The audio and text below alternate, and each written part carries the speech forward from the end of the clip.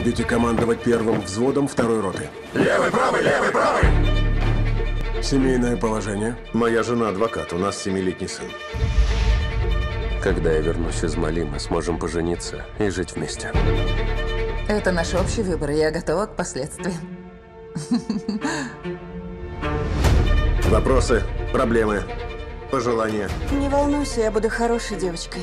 Буду ждать тебя. Все будет хорошо, можешь не переживать. Je pars pour la patrie. C'est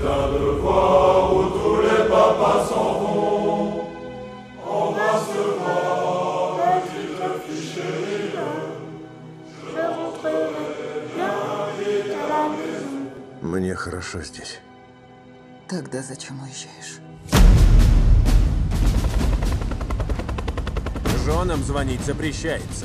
Это приказ.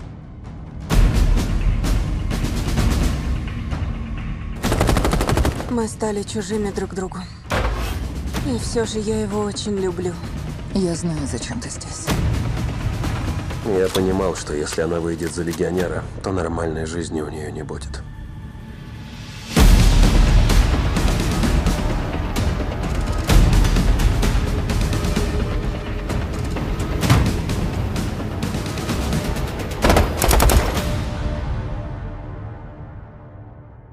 Я боюсь, что мы потеряем друг друга.